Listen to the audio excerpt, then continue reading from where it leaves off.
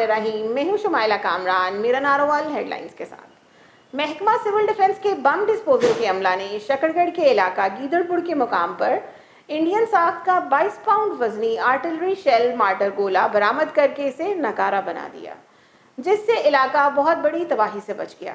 District civil defence Asim Riaz Wahla का कहना है कि छः माह कबल भी तहसील जफरवाल में नाला डेक और दीगर मकाम पर तीन अदद एंटी टैंक माइंस और एक अदद एंटी पर्सनल माइंस बरामद करके नाकारा बनाया गया।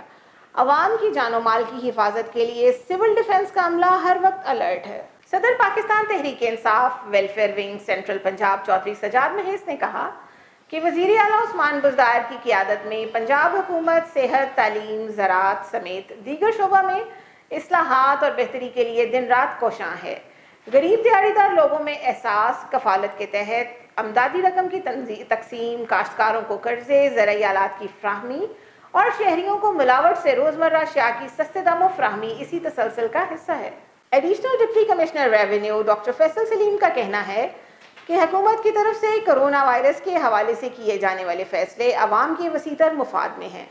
जिसका मकसद सिर्फ़ और सिर्फ़ लोगों को कोरोना वबा से महफूज बनाना है।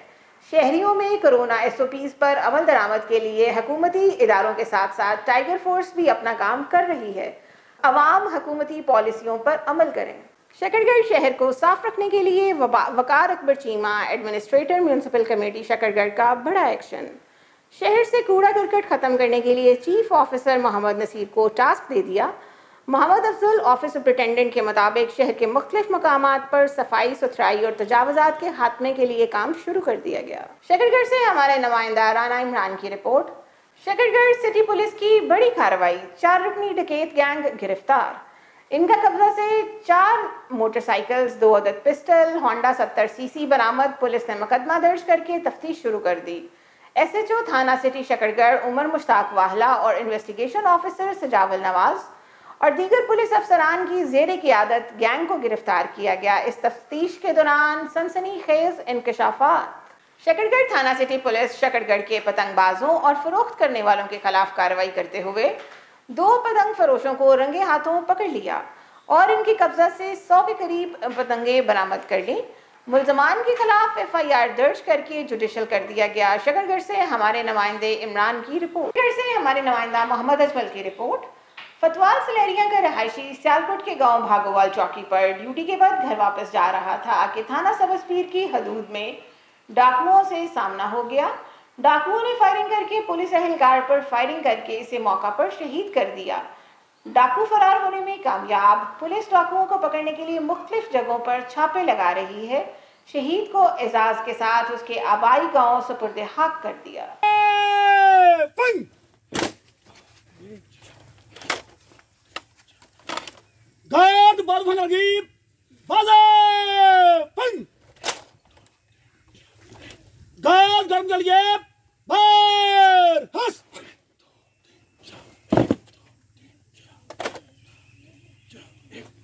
आज की अच्छी बात।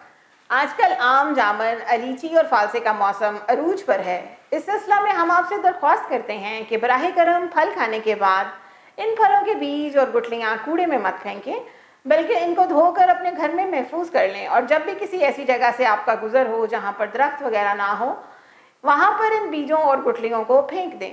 चंद हफ्तों में बरसात का मौसम अपना रंग दिखाएगा और अल्लाह के फजल से ज़्यादा बीज उगकर दरख्त बन जाएँगे। दरख्त ना सिर्फ़ सदका जारिया है, बल्कि इस वक्त पाकिस्तान और दुनिया की सबसे बड़ी ज़रूरत है। हमारा ये छोटा सा अमल पाकिस्तान को ग्रीन पाकिस्तान बनाने का पहला कदम साबित होगा। ये एक ऐसी सरमाकारी है जिसका फ़ायदा आने, आइंदा आने वाली नस्लों को होगा। आपको हमारा आज का न्यूज़ बुलेटिन कैसा लगा? हम आपकी फीडबैक के मुंतजर रहेंगे। एह मेरा नारोवाल, एह मेरा नारोवाल, एह मेरा नारोवाल, एह मेरा नारोवाल।